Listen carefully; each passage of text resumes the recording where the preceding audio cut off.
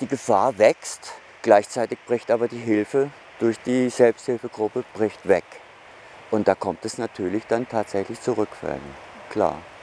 Alkohol kann ein unerbittlicher Feind sein. Deshalb bekämpfen ihn Suchtgruppen wie die von Gerd Ringwald gemeinsam. Doch allein hier hat es während der Pandemie zwei Rückfälle gegeben. Auffällig viel, meint der Gruppenleiter. Schuld daran sei vor allem die Isolation durch die Pandemie. Dabei sind die Ängste keine Unbekannten.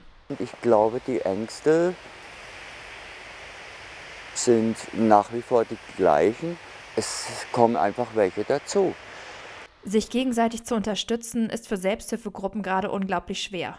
Auch der Detmolder hat hier 2010 selbst Halt gefunden und seine eigene Sucht in den Griff bekommen.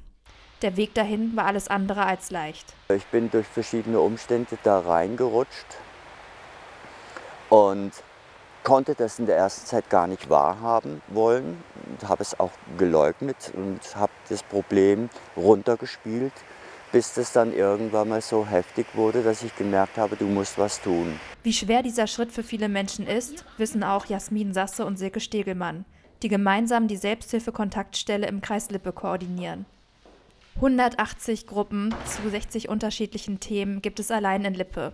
Es geht um psychische Erkrankungen, um Sucht, um Trauer oder auch chronischen Schmerz. Doch durch die Pandemie stehen viele Gruppen kurz vor dem Aus. Das, was wir wissen, ist, dass es Suchtgruppen gibt, die in dieser Zeit ähm, eine Rückfallquote von zwei Drittel ähm, der Menschen dort hatten. Das sind Zahlen, die können wir schon jetzt ähm, so aus den ersten Rückmeldungen ähm, ablesen und heraushören. Fakt ist, die Menschen, die einfach vorher schon eine große Not und eine Lebenskrise hatten, für die wird sich die Situation nicht erleichtert haben. Normalerweise können Gruppen auch die Räume in der Detmolder Kontaktstelle nutzen. Doch seit Mitte Dezember bleiben hier die Stühle leer. Treffen sind durch die geltenden Kontaktbeschränkungen nicht erlaubt. Viele weichen daher in die digitale Welt aus. Damit versucht auch die Suchtgruppe von Gerd Ringwald zurechtzukommen. Seit acht Jahren ist er Detmolder erster Ansprechpartner und kümmert sich um die Organisation. Während des ersten Lockdowns haben die zwölf Teilnehmenden noch nach Ausweichmöglichkeiten gesucht und sich über den Sommer im Freien getroffen. Mit Abstand und Maske. Jetzt macht ihnen der Winter einen Strich durch die Rechnung.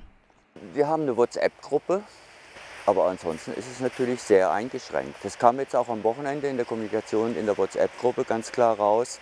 Es wird vermisst. Dass der digitale Austausch nicht ausreicht, diese Rückmeldung bekommt auch Silke Stegelmann immer wieder. Also den Gruppen geht es im Moment nicht gut. Das, äh, das ist das, was wir mitbekommen. Denen fehlt tatsächlich der persönliche Austausch. Auch äh, digitale Austausche sind immer nur eine Brücke. Wenn man sich persönlich trifft, ist es einfach so, dass man die kleinen Zwischentöne hört, dass man, äh, dass man sich noch mal wieder ganz anders wahrnimmt als jetzt mit einem Bildschirm. Da ist diese Sicherheit nicht da. Und äh, wenn man jetzt eine Suchtgruppe nimmt zum Beispiel, die nehmen das ganz anders wahr. Wenn man neben jemandem sitzt, äh, die Fahne, die riecht man dann schon. Im digitalen Austausch sehen sie es nicht. Digitale Treffen sind auch für junge Menschen gerade das einzige Mittel, um Kontakt zu halten. Die Detmolder Gruppe Mut zur Lücke hat sich erst kurz vor der Pandemie gegründet. Sie richtet sich an Menschen zwischen 18 und 35 Jahren. Auch wenn die sechs Mitglieder vom Alter her in der digitalen Welt eher zu Hause sind als manch andere Gruppen, fehlt ihnen etwas. Wir können uns nicht mehr treffen innerhalb des paritätischen Dienstes.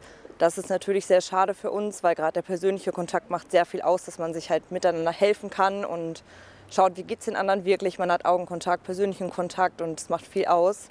Wir haben jetzt halt nur noch die Möglichkeit über WhatsApp oder Skype, also sprich über den Online-Bereich, aber das macht es auch für andere schwierig, die neu sind, sich natürlich auszuleben, weil wer erzählt schon gerne von seinen privaten Sachen in einer online-digitalen Welt, wo man die anderen Personen vorher noch nie gesehen hat. Concha Fettig ist Borderline-Patientin und hat die Selbsthilfe als Ankerpunkt neben der Therapie für sich entdeckt. Die 30-Jährige bekommt oft mit, dass sich bei Menschen ohne festen Tagesrhythmus die Probleme durch die Pandemie noch verstärken. Bei mir ist es halt zum Beispiel so, ich habe halt eine Vollzeitarbeitsstelle, sprich ich habe dieses Lochproblem nicht, weil mein Tagesrhythmus ist ganz normal geblieben. Aber für all diejenigen, die das nicht haben und die jetzt wirklich in ihrem Zimmer isoliert sind, weil außer Einkaufen bleibt ja nichts mehr. Es gibt keinerlei Aktivitätsmöglichkeiten, die man draußen sonst noch machen kann. Und das ist dann wirklich schwer, da dann positiv zu bleiben. Und gerade dem Menschen muss man dann halt besonders viel Kraft mit auf den Weg geben und ihnen auch die Hand reichen, dass es weitergeht. Denn gerade Menschen mit psychischen Problemen kommen in der Pandemie oft zu kurz und müssen sogar bei Behandlungen zurückstecken. Die Selbsthilfe ist eigentlich ein fester Austauschpunkt, der den Menschen zusätzlich Kraft geben kann. Wenn auch dieser wegbricht, bleibt oft nur der Fall ins Bodenlose. Und vielen fehlt momentan die Hoffnung, wann es endlich weitergehen kann.